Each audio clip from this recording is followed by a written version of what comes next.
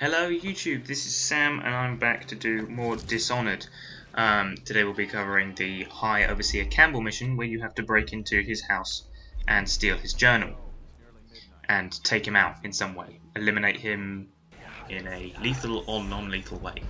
Today we're going to be doing non-lethal because this particular walkthrough is for complete stealth uh, and not alerting anybody or killing anybody. Because I personally prefer this particular kind of game when you're stealthy. Although I do more often than not find myself killing everybody. The first time I played this through I thought, you know what, I'm going to be stealthy. It's going to be good. Because as a general rule I'm quite good at being stealthy and I ended up killing everyone. Just because I didn't have the patience. So it does require a fair bit of patience and waiting around and trial and error and saving and wandering in and out of rooms and going, this isn't the right room, I need to find a different way to whatever it is you're trying to do. Like I've said previously in my last video, hugely useful to loot as much stuff as you can. I've also found don't talk to Granny if you're trying to do a stealth walkthrough because it just complicates stuff and other people come and attack you.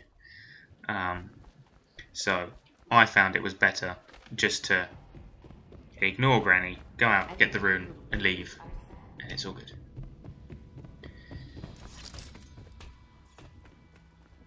I also found this was the most stealthy way, was to run around the side.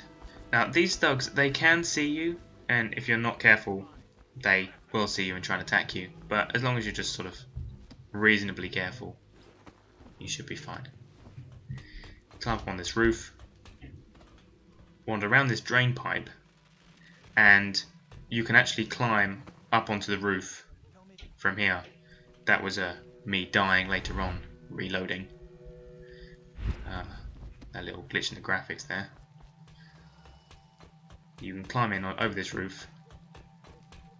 Now there's a rune in that little metal box thing, which if you're quick you can get to and you know your timing, you can get to before guard turns up in there, and then you can get out again. You should see him. I should turn around and have a look. Yeah, see? That guard. He goes in there. Uh, most of the times I tried to play this through, I went in after him and killed him. You have to be careful with Blink, because quite often you can just go, I'll just move slightly to the left, and let go of it, and it gets stuck on a wall. I found here as well, it's trying to push me over that. I'm like, no, it's nowhere I want to go, so I sort of have to go into the air slightly. You can also, a useful thing, is to be hidden, and the door there that you're supposed to be trying to get through, if you blink to it and then immediately press X as soon as you get there, you're fine, and nobody will notice you because you're not there long enough for anyone to see you.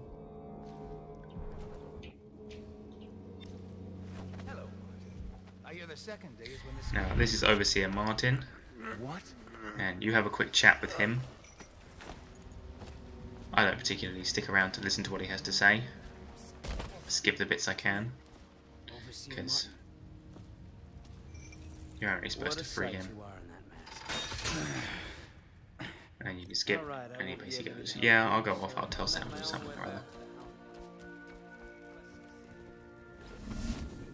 So, climb up here.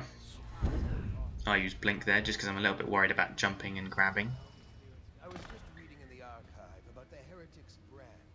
And I found going around the back here is the most efficient way of getting around. Because um, there aren't really enough guards. As long as you use Blink and you jump that distance there. Because I've had a couple of times I tried to walk that distance and I was spotted. See, there's a... Uh, there's an overseer. The overseers are the ones with the masks.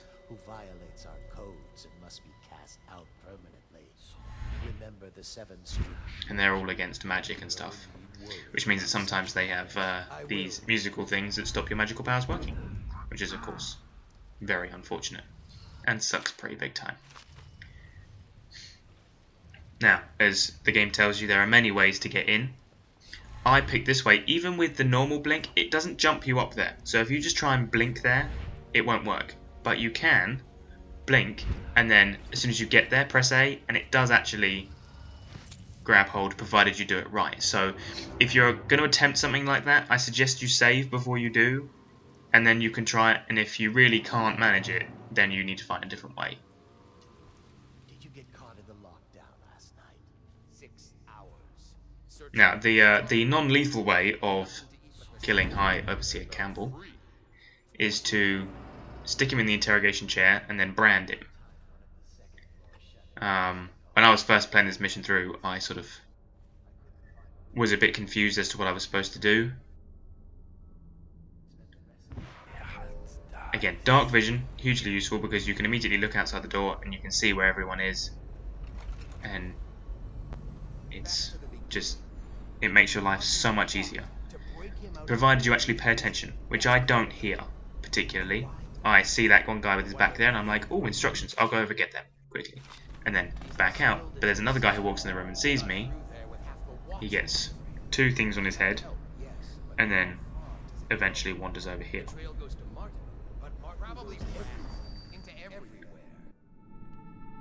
I have a slightly false sense of security all of a sudden because this other one who's walking over here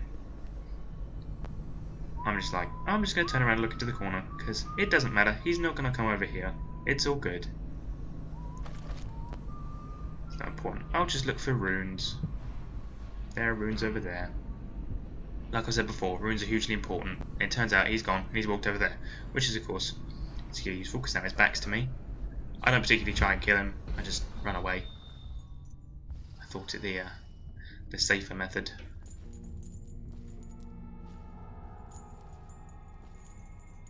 And it's quite cool that the chain actually exists in the physical world of this game. Quite often chains you can grab hold of them, but you can just sort of walk through them. You can't with this particular chain, which I think is quite cool.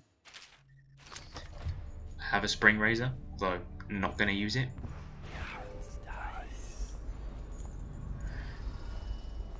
Now, one of the particularly useful things for dark vision is being able to see when people walk past and being able to see their direction and where they're looking, which means you can now quickly stick your head out, strangle him to death, rather just strangling him to unconsciousness because if you were strangling him to death you'd be failing the achievement.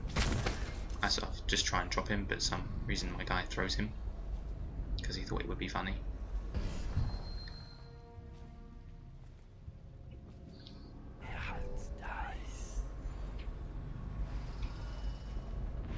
Confidence quite often helps as well. If you spend all your time being completely chicken, it will take you ages. There is a point where you just sort of have to get on with it. Um, I'm aware that I may not be the best example of this because quite a lot of the time I'm hiding and running away and overly cautious, but it is true that I'm doing a complete stealth walkthrough and I don't want to be spotted at all. Now, there are two ru runes inside this building. One of them is in his room, and one of them is in a room under the building. I'll show you where that is later and how to get into it and I faff around trying to get there. That was a, a reload, the graphics have a bit of a, a fit. Now, I spill the glasses so that Campbell can't attack, can't kill the guy. Although, if you don't take him to a safe location, after Campbell doesn't kill him because you just saved his life, it doesn't count as him having survived. It doesn't count as you killing him, but it doesn't count as the optional mission of having saved him. I choose not to save him just because it was too much effort and it was like 2 in the morning that I filmed this and I was like, I can't be bothered. But you just take him to a safe location. So that's the only bit that I haven't done of this. Not that one. Now, I bought Ben time um, just so that it would be easier to get them both with uh, with sleep darts in a minute when they come in. They come in, they have a quick chat, talk about some whore dying or something. I agree. A whore dies and suddenly this. There you go. Will you have wine? It's a Tyvian red. He says yes. He hasn't noticed at this point that the glasses aren't there because I smashed them. What a and then I put him to sleep. It always seems to shoot him in the shoulder whenever I do this as well. I can't seem to shoot him in the face, or the back, or wherever. It always has to be the shoulder. Now, it is a good idea to hide Jeff, or whatever his name is. Can't even remember what his name is. Um, it did just say, but I wasn't paying attention. Uh, if you hide him, it just means that nobody finds it, and then everyone doesn't freak out. I mean, everyone starts to try and look for you once they realise that High Overseer Campbell is gone. I found that there were quite a large number of guards once I'd sort of stolen him.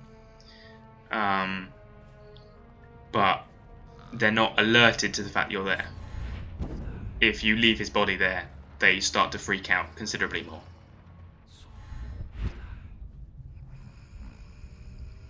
And don't try and jump to lampshades. Always make sure when you're doing a blink that you can see where it is. Because if you can't see exactly where it is, it's quite a risky move. And sometimes it'll it'll it'll be okay for you, but sometimes it really won't. And it just makes a nasty mess. And somebody sees you, and you're stuffed. So I'm just I just want to close the door so I can stick him in the chair. But there's a guy out there, so I wait for him to go. Up there is the branding tool.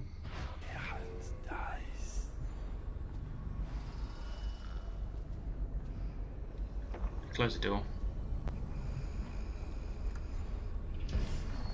Whack him in the chair. It then took me a little while to realise where the branding tool was, because I was being a bit of an idiot. Um, so I just cut out all the crap where I wander around. Some useful sleep darts. And no, I don't want to read that letter. Take the branding tool. Jump back over the thing.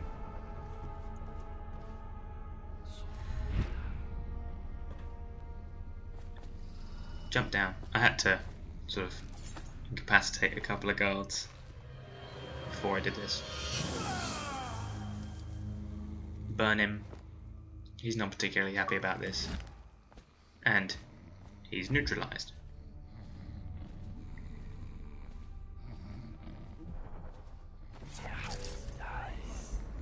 There's another guard coming round. I wait to take him out. I do take out quite a lot of these guards and I do make a huge pile of them in here. Um, I'm fairly sure I cut most of that out after I get this one.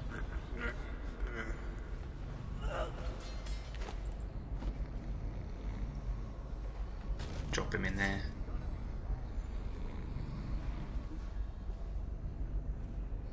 Can see that one. Do take that one out. Now downstairs, this is the bit where you're trying to get to the rune. This is what I'm trying to get to because I'm rune obsessed. After having got the rune in his room, run in here, over to that door, go through. Might as well close it behind you so no one follows you. You can stand up. I sneak down because I'm not really sure what's going to be down here. Uh, but there isn't anyone down here, so you don't particularly have to worry. Uh, run over to this and press his eye, and the door will open.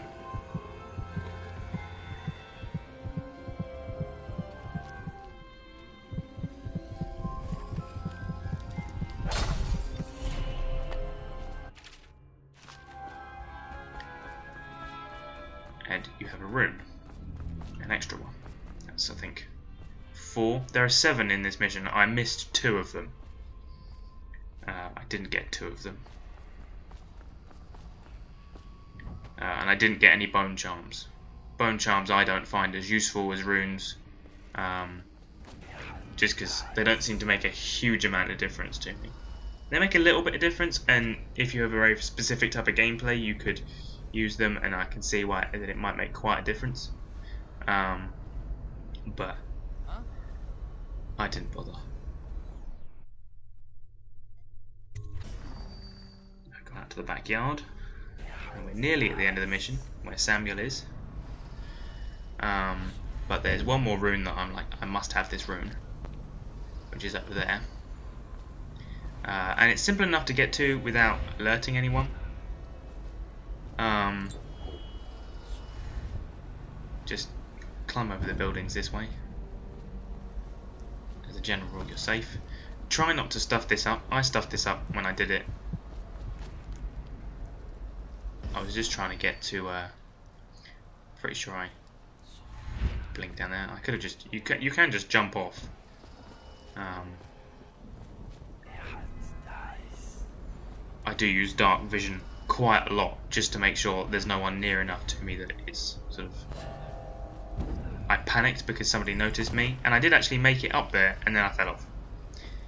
Um, so and then jump back up again. And hide on the ceiling. It's the guard over there by the stairs. Notice me. Now you can smash this. It alerts some people and they're all like what's that? But they don't really investigate because you're on a roof and of them can see. So you don't particularly have to worry. I'm just waiting around and then checking inside to make sure there are no guards inside the building. Which is always a good idea if you're about to break into a building to make sure no one's in there. Um, not really sure what you can use the vice for, but apparently you can use it. Uh, and the rune is over here underneath that magnifying glass and that's simple enough just to blink back out again I do upgrade blink at this point um, and you can see it makes quite a considerable difference the distance you can jump. Um, which is it's just it's hugely useful. Like being able to just stand here and jump all the way to that wall. You couldn't have blinked that before and it would have caused problems. And then very simply to finish the mission you chain down. And you can see Samuel there. All the way down. Don't jump off. It will kill you. And you'd be an idiot too if you haven't just saved. Let go. And go speak to Samuel. It's Samuel. So this has been Dishonored Stealth Walkthrough. Thank you very much for watching. Uh, please like, subscribe. Um, it's hugely useful if you do subscribe. Thank you very much for watching again. Um, and I will see you with the next mission very soon. Okay, let's go.